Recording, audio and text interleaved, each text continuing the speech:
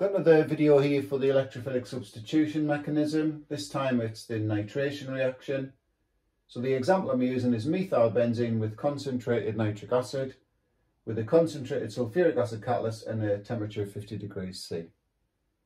And we've got some information about the methyl group. It's a 2,4 directing group. So we're going to do the mechanism for the 2-nitro product and suggest why the, the 4-nitro product is produced less than the 2-nitro product. So if you want to have got that, pause the video and then play on when you're ready for the answer. Okay, so we'll start looking at the answer now. So I've written the overall equation there. So you can see there's the 2-nitro-methyl benzene product and we also get a water molecule so in terms of the mechanism, the first step in the mechanism is the two concentrated acids react together to form the nitronium ion. This is the important product of that reaction. That's the electrophile, the electron pair acceptor, and that's what's going to react with the methyl benzene. We also get an HSO4 minus ion and there's that water molecule formed there. So we'll pick up the mechanism at this stage here. So there's the electrophile, the nitronium ion, so we need to take a pair of electrons from that delocalized ring of pi electrons.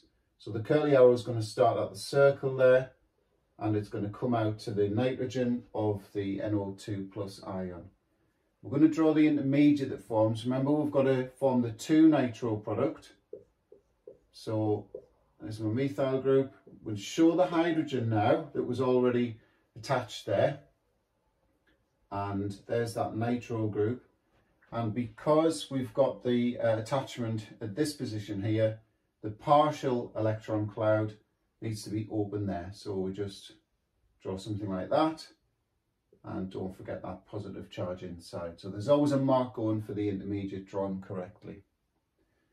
Right so we now need to stabilize that. So we do that by taking a pair of electrons from this carbon hydrogen bond and feed it back to reform that pi, like that ring of pi electrons. So that's going to generate the product.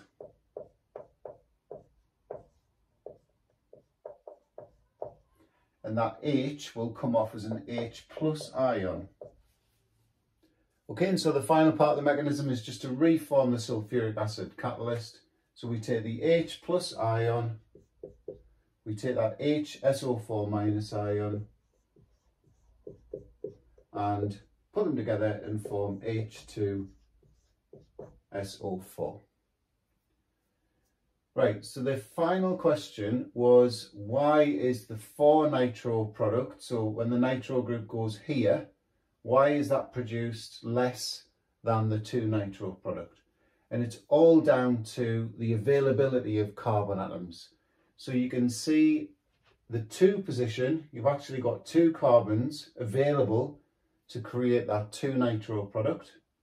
Whereas for the 4-nitro product, there's literally that just that carbon there.